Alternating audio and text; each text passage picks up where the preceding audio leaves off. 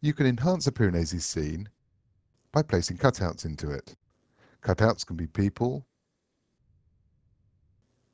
or trees like this one. And let's have another in this planter box. Or any items of scenery, such as these lamps. There are three types of cutouts. A raster cutout, which is a photograph or image file with the background removed, a text cutout, and 3D cutouts. The 3D cutouts are covered in a separate movie. Single raster cutouts are placed in the scene using the cutout tool. Text cutouts are placed using the text tool. And your text is entered here. And the multiple cutout tool is for placing groups of cutouts. Now I've opened the cutouts library file for this tutorial and I can place predefined cutouts from the library using the style selector. And you can download this ePix file and library files from our website. Notice that each time I select a new cutout, the Tools option toolbar updates with the cutout settings predefined in the style. And I can place a cutout anywhere in this image. You will have noticed that the cutout changes size to maintain perspective as I push my mouse deeper into the scene.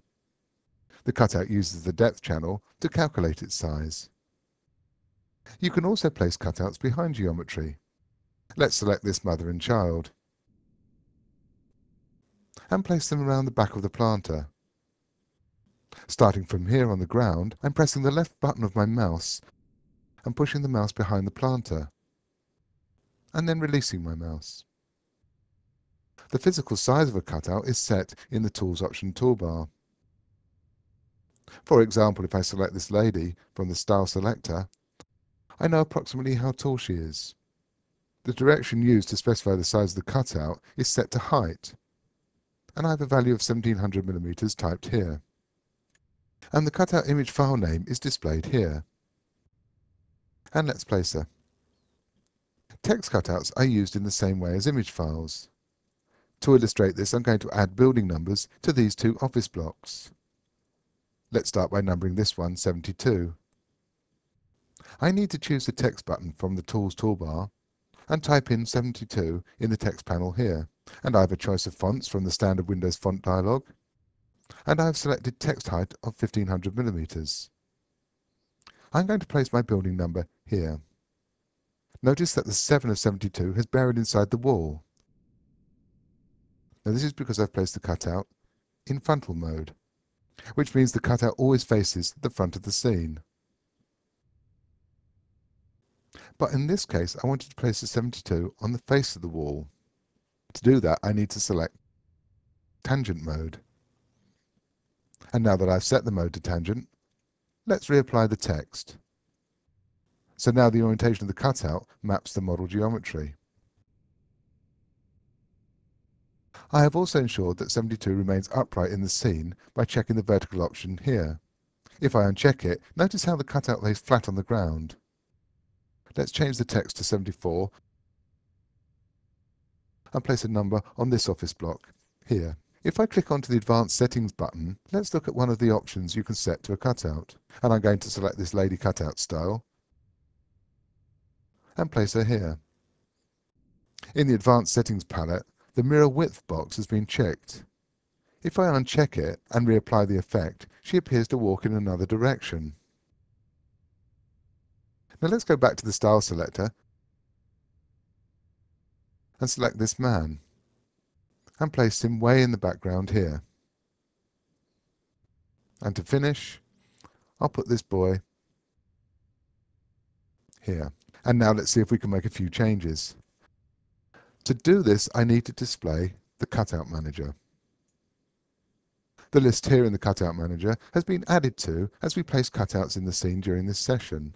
In the Cutout Manager, I can select this box to make cutouts invisible, or delete it from the scene completely by clicking the cross here, or click the Select button and choose any one of the cutouts in the image, like this lady, and clicking the Tweak tool. I could move her around, Notice when I release the mouse, she stays on the ground. This is because when my mouse pointer shows a red arrow, like this, the cutout is being moved by its hook point, and the hook point to this lady is at her feet. Now dragging on these handles I could stretch her or pressing the shift key at the same time I could maintain the aspect ratio and scale her proportionally and reset the cutout shape, position and size by pressing undo. Cutouts in Piranesi can also cast shadows. You press this button to let cutouts generate shadows in the scene. All of the cutouts in this library have been saved with the shadow box checked. Let's press the Update All button here in the Cutout Manager to see the cutout shadows in the image. You can toggle this box to switch shadows off or on to each cutout. Now, I don't think this is quite right. If you look at this area of the model, you can see that the existing shadow direction is in the opposite direction to the cutout shadows. Now I want to copy the shadow direction from the model geometry and apply it to my cutouts. I can do this by selecting this pick button and clicking on the corner of the building here and dragging my mouse to the shadow corner. I can also adjust the shadow blend. I want to make the shadows a little lighter. Now let's update all the shadows to see their adjusted positions. Shadows even follow the geometry of the original model. If you create additional views of the scene, you can save the cutouts to a file and load them into the other view. I'm going to save my cutouts to a cutout file and accept Piranesi's offer of using the same name as the EPIX file. But before we import our cutouts into the new view, let's look at burning them into the scene.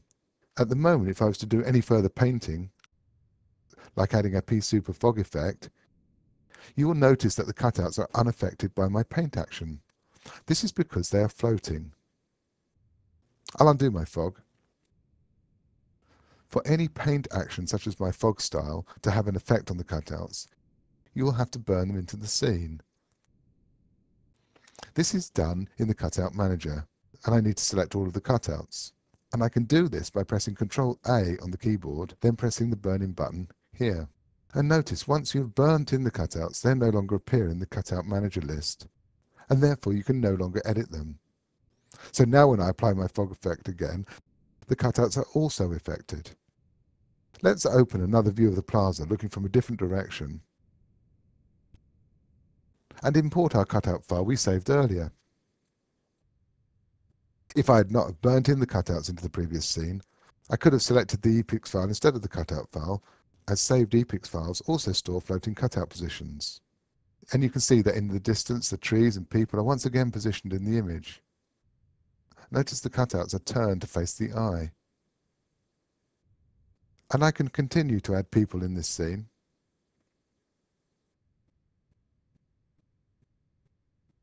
And that concludes this movie on Piranesi cutouts.